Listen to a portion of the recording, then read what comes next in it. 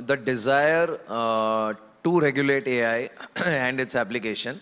Uh, but the, I think the fundamental question is, can it be regulated? Uh, what is your take? Oh, absolutely. It can be regulated. We have regulated nuclear technology before. We regulate dangerous chemicals. We have regulated very dangerous technologies very successfully. Uh, and same thing, it's, it's a tool that we have built. Um, it is easy and it is possible to regulate this, and we must. Um, many countries are now working on this. Our government in India is working on it. Um, so, yeah, and, and the regulation is absolutely necessary. Just like we regulate um, as I'm speaking to you, I'm sitting in a 45 story tall building. Uh, you know, this building is not going to fall down, or the builders don't say there is a 30% chance that this building could just crumble. Uh, it doesn't work like that. Uh, we need to be able to build responsible technologies, trustworthy technologies out of these these basic tools. And uh, uh, the, the fundamental issue that I see is an issue of education.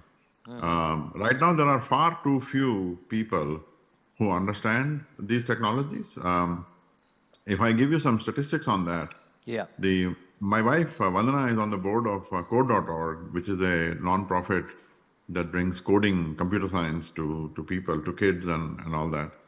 And she always says that there is, uh, in the dark ages, you know, when the dark ages were going to the middle ages, about 6% of the world was able to read and write. The literacy rates were 6%.